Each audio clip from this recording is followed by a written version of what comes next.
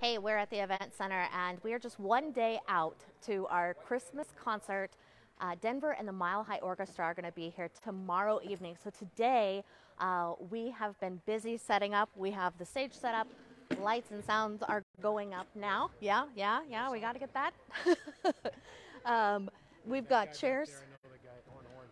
Oh, yes, the guy in the orange with the beard. He looks a little different, um, but we claim him still. His name's Ross. Ross, that's, That's right. Ross. That's Ross. We got Shelly and Aaron sitting way back there. I promise everybody's been working. Yes. Yeah, we're just relaxing. Oh, Yes. Yes. So we've been lucky. We had uh, the Colby Community College baseball team came out. Wave hi, guys. Hey guys, thank you for all your help. They've been great help. Uh, we couldn't do it without their muscles. So we've had a great day today. We are on schedule. We're ahead of schedule, I think. So that's great. And uh, tomorrow is the concert. So if you still need tickets to see Denver and the Mile High Orchestra, you're going to want to go to our website, nwksradio.net, or you can text the word tickets to 785 460 0790.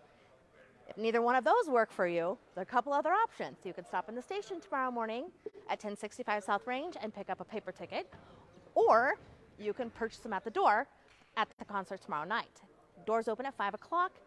Show will start at 7 o'clock. We could have someone on the stage prior. So make sure you come early. We're going to have the Christmas marketplace going on in the South Gym um, and then on the South Mezzanine area from 5 to 7 tomorrow for concert goers only. That's only for the people who have tickets to get into the concert. They're going to get a preview of those vendors that are going to be here for the marketplace. We're going to have Santa here with Mrs. Claus.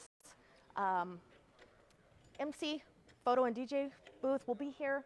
Uh, so you'll get to do his photo booth, which is always super fun. There's going to be a lot of stuff going on. We're going to have concessions.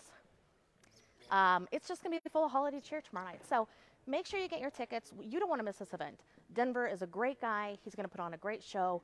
He's bringing 9 to 11 members uh, of a band with him. It's going to be kind of that live, big band feeling. You're not going to want to miss it.